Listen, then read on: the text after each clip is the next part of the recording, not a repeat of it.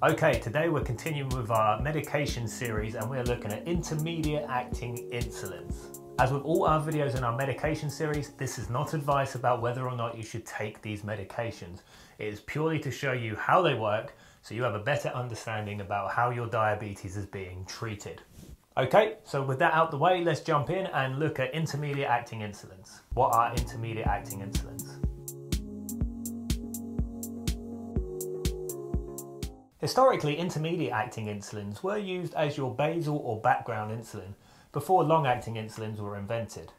But after technology has moved on and long acting insulins have come to market and have been a viable option for patients to use, intermediate acting insulins have found their own place among the treatment of type 2 diabetes, helping with enteral nutrition, helping treat steroid related glucose spikes, amongst a few other uses. Intermediate acting insulins are just that. They act for an intermediate amount of time, so usually that's anywhere between 12 to 16 hours. So you do not get a full 24 hour insulin coverage if you're using an intermediate acting insulin. This is why people that used to take this with type 1 diabetes would need to take it twice a day as shown by the green here on our graph. However, if you're not using it in type 1 diabetes where you must have 24 hour insulin coverage to prevent problems, then you may see these taken once a day as well, potentially once a day in the morning or once a day in the evening to help prevent glucose rises seen throughout the day or glucose rises seen overnight, particularly rises in the morning that are related to hormones.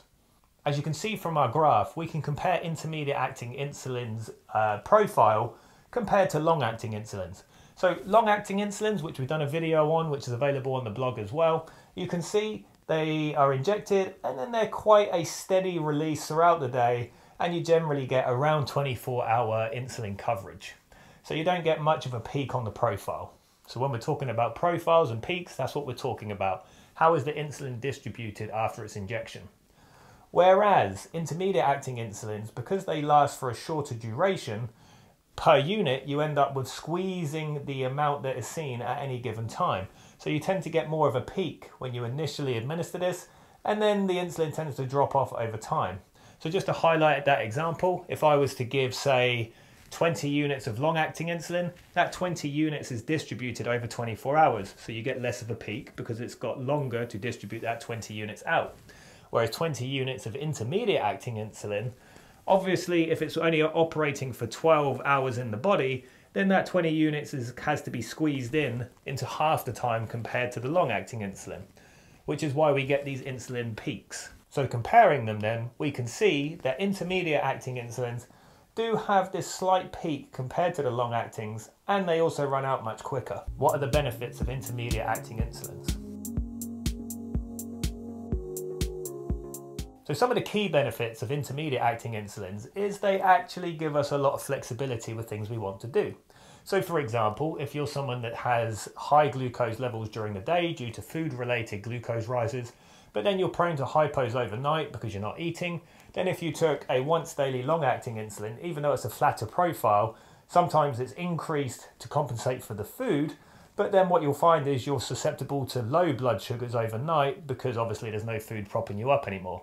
Whereas an intermediate acting insulin, we can give an increased dose in the morning to compensate for that, and then we can give you a smaller dose at night um, because there's no food going in. So it's quite flexible in terms of what we can do with it with that twice a day injection regimen. The other good thing about intermediate acting insulins is they're kind of a step down from mixed insulins. Now we've done a video on mixed insulins as well, but just as a summary, that's two insulins put together. So you have intermediate acting insulins mixed with rapid insulins, which are there to help deal with food.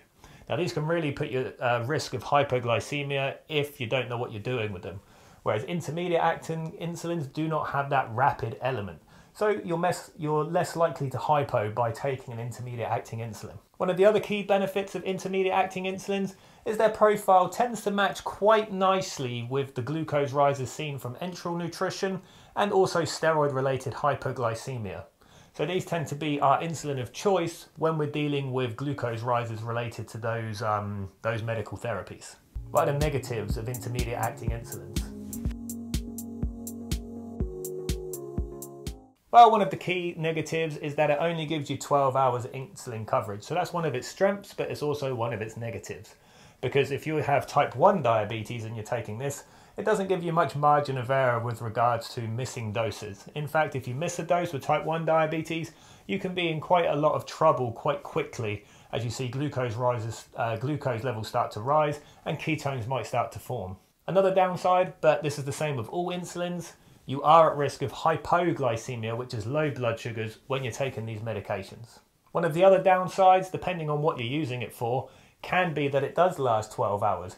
Now, this can be quite flexible for some people, but if you're taking it, say, for enteral nutrition, particularly in hospital, you take the insulin as the feed goes on, so then you're starting to get a steady drip of carbohydrate and glucose into your system, but then for whatever reason the feed stopped, of course then we can't just switch off the insulin, so it can lead you, leave you prone to low blood sugars. Also, sometimes these insulins will be given to help compensate for the rises seen during the day, for example. As I said, you can be flexible. You can give two different doses at different times of the day to help compensate for perhaps rises seen by food, and then give a reduced dose at night as you go to sleep and don't have anything else affecting your blood sugar levels. But then if you change your diet, or for whatever reason on that day you have slightly different meals to what you're used to, then actually that insulin's still working for 12 hours, and then again it can put you at risk of hypoglycemia. We obviously have the two comparisons here. We have long acting and we have intermediate acting insulin. You have to excuse the handwriting, art was never my strong point. But let's just put this into perspective compared to a mixed insulin. So mixed insulins give you a much stronger peak because they have that rapid acting element. But then they also have that intermediate acting part. So as you can see, the stronger the peak, the more likely you are to hypo and also if you have bigger peaks with longer duration, one, it could be great for helping to lower high glucose levels if you're prone to high glucose levels. But if you're a bit up and down with your levels, then bigger peaks with longer durations can put you at risk of hypos. So intermediate acting insulins are one step down from those mixed insulins, but actually one step up from the long acting. But of course, the long acting doesn't always give you enough coverage to deal with the spikes seen by food. So intermediate acting insulins can be a nice halfway house between the two.